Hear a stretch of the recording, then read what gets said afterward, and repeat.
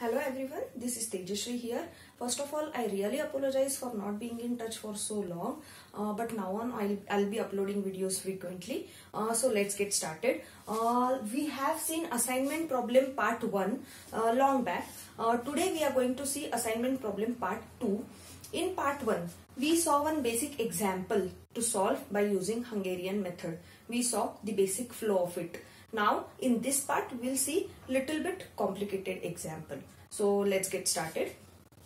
This is the example given to you in which four persons are four persons are given A, B, C, D and four jobs are given 1, 2, 3, 4 and these numbers are indicating uh, let's assume those as uh, time in seconds which means that or minutes which means that A can perform job 3 in 6 minutes C can perform job 2 in 5 minutes and so. So in uh, part 1 we have already seen in Hungarian method there are two basic criterias okay to be fulfilled. If those criterias are fulfilled then only you can solve it by using Hungarian method. First criteria is matrix should be balanced matrix and second is it should be minimization type of matrix. So let's see if those criterias are getting fulfilled or not in our case. First criteria is matrix should be balanced which means that number of rows which are 4 in our case should be equal to number of columns which are again 4 in our case. So this matrix is 4 by 4 matrix. Matrix has to be n by n. In our case matrix is n by n where n is equal to what? 4. Right? So this is your balanced matrix. So first criteria is fulfilled. Now second criteria matrix should be of minimization type of matrix. So how to how you will come to know that by using these numbers. These numbers are in our case are time numbers right. We always try to minimize the time to perform any job right. So this is of minimization type of matrix. So both the criteria are fulfilled. Now we can start solving this example. First step like we have already seen in step 1 uh, sorry in part 1 first step will be of row subtraction in which we consider each and every row individually. And what do we do? We find out the smallest number in particular row and subtract that number from remaining numbers in that row or all the numbers in that row. So let's do that step. In first row the smallest number is what? 1 hence we are going to subtract this 1 from all the numbers in that row so let's uh, note it down. 1 minus 1 will be 0. 4 minus 1 is 3. 6 minus 1 is 5. 3 minus 1 is 2. Okay. Now go for second row. In second row the smallest number is 7. Therefore we are going to subtract 7 from all the numbers. 9 minus 7 is 2. 7 minus 7 is 0. 10 minus 7 is 3. 9 minus 7 is 2. In third row smallest number is 4. 4 minus 4 is 0. 5 minus 4 is 1. 11 minus 4 is 7. 7 minus 4 is 3. Okay. In last row, the smallest number is four, uh, 5. So 8 minus 5 is 3. 7 minus 5 is 2. 8 minus 5 is 3. 5 minus 5 is 0. Okay. So first step is done. That is row subtraction. Now same way in second step we are going to perform column subtraction means we will consider each and every column individually find out the smallest number in that column and subtract that number from all the numbers in that particular column. So let's go ahead. In first column the smallest number is as you can see smallest number is 0 means you are going to subtract 0 from all the numbers in that column means there won't be any change. So you will note down the first column as it is as 0 minus 0 is 0 2 minus 0 is 2. So the column will be as it is 0 and then 3. In second column again the smallest number is 0. So there won't be any change in that column as well. So note it down 3, 0, 1 and 2. Now in column 3 the smallest number is 3. Okay. So you are going to subtract 3 from all the numbers in that column. 5 minus 3 is 2. 3 minus 3 is 0. 7 minus 7 minus 3 is 4. 3 minus 3 is 0. Okay. Now in column 4, 0 is the smallest number. So there won't be any change. 2, 2, 3 and 0.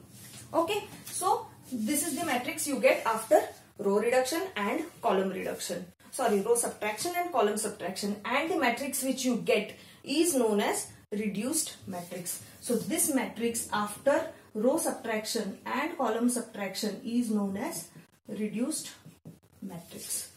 Clear up to this? Now, what to do next is you have to draw minimum number of lines to cover all the zeros in that matrix. Those lines can be vertical lines or horizontal lines. Okay, so let's start. In first row, there is one zero. In second row, there are two zeros, one zero, two zeros. If you go column wise, two zeros, one, two and one. So maximum two zeros are there even if you go row wise or column wise. So cover all those lines or rows or columns. So there are two zeros here. So cover it. Cover this as well. Okay. Now see row wise here only one zero, here only one zero. But if you go column wise, there are two zeros in this column. So you will draw one vertical line as well. Okay, all the zeros are covered as you can see. Number of lines to cover all the zeros are how many? 3. Right? You require three minimum 3 number of lines to cover all the zeros in this matrix. Now, this 3 is not equal to n. Right? n is what? 4. n means what? Number of rows or number of columns. But in this case, these number of lines which are required uh, to cover all the zeros are uh, not equal to n which means that we have not yet found the solution. In part 1 we had seen that this was equal therefore we found the solution there itself but this part is going to be new in this part okay in assignment problem part 2. So uh, just uh, be careful pay attention here what to do next okay find out the smallest number from all the uncovered numbers. Okay. Step 1 is what? Find out the smallest number from all the uncovered numbers. So what is, which is the smallest number? 322143. 1 is the smallest number. Okay. Now you have to perform two operations. One is minus, one is plus. Which means that you have to subtract 1 from some of the numbers in this matrix and you have to add 1 to some of the numbers in this matrix. And remaining numbers will be noted down as those are. So let's see where to perform minus operation first. The numbers which are not covered, the numbers which are not covered by any line, by vertical, not even vertical, not horizontal. The numbers which are not covered should be subtracted. Okay, which means that 3, minus, uh, 3, 2, 2, 1, 4, 3. These numbers are to be subtracted. Their subtraction has to be performed. So 3 minus 1, 2 minus 1, 2 minus 1. Okay. So let's see how it goes. Uh, A2, A2 position means here. You're going to write down what? 3 minus 1. This with this number you're going to deal. Okay. So 3 minus 1 will be 2. 2 minus 1 is 1. 2 minus 1 is 1.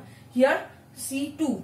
Okay. C2 means here you're going to note down 1 minus 1 is what? 0. 4 minus 1 is 3 and 3 minus 1 is 2 okay? So this minus operation is completed. Now plus operation. Where to perform plus operation? See wherever you see intersection of lines means one vertical line and one horizontal line wherever you see intersection of lines in this matrix there you have to perform addition operation. Okay? See where do you see the intersection? At this place. One horizontal line one vertical line. So here Whereas here as well. Okay, at these two places you see intersection of lines. So at these two places you are going to perform plus operation. So 2 plus 1 is 3 and 3 plus 1 is 4. Done. One small trick to remember this. Wherever you see plus sign, see here intersection of horizontal and vertical line will be what? Will be forming a plus sign. So wherever you see this plus sign, there you have to perform plus operation. Uh, this will help you to reduce confusion in the exam. Okay, so plus operation is also done.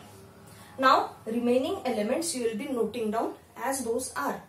So copy those elements 0, 0, 0, 2.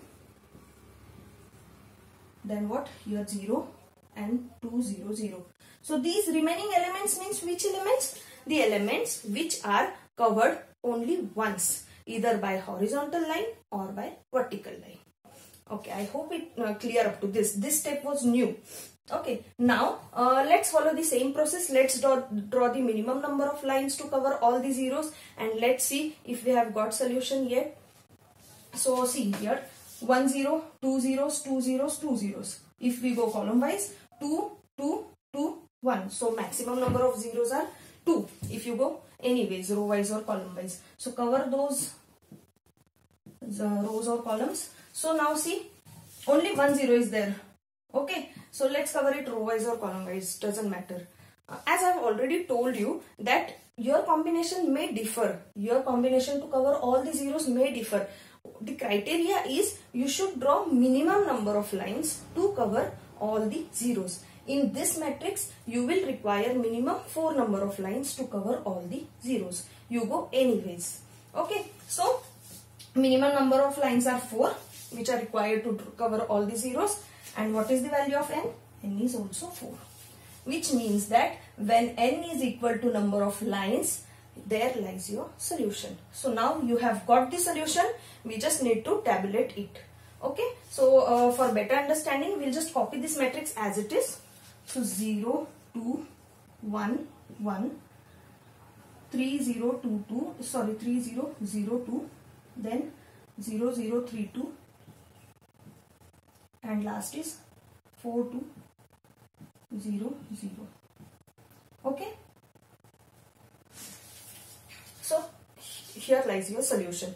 Now how to get that solution. Okay. One important part. We have seen this in part 1 as well.